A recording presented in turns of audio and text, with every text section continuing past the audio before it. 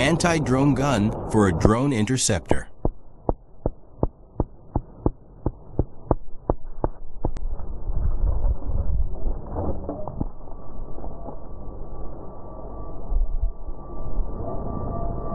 I'm Aleksey Zaitsevsky.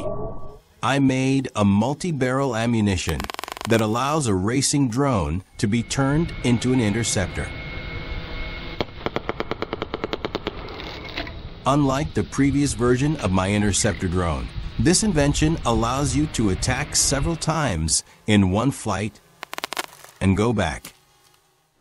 The fired propeller snares entangle the rotor of most unmanned aerial vehicles weighing up to 3 kilograms and some targets up to 10 kilograms.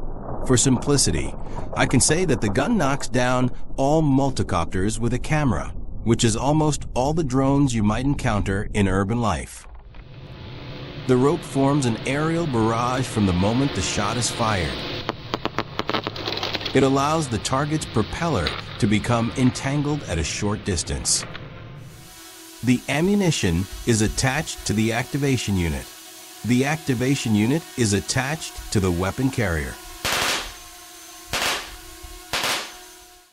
The ammunition controller can be connected to a remote control or flight controller. The Spider Shot gun weighs 120 grams.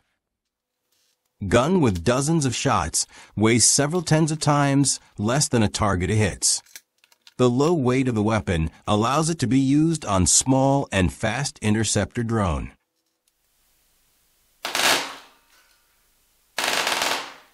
I have been thinking about the idea of this weapon for several years. It took me about 2,000 hours to test different versions of the weapon and develop the production technology. The ammunition is not dangerous to humans and is classified as pyrotechnics. Twisting the rope increases the likelihood of entanglement on the target.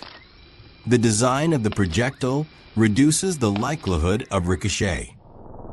Projectile filled with extra length of rope, it increases the likelihood of entangling the target's propeller. Energy of the target's engine is used to block it, so muzzle energy can be small. I am ready to organize license production in your country. My technology allows one employee to make 1,000 shots a month. Also, I am looking for sponsor to develop my projects. The sponsor gets to know the results before everyone else.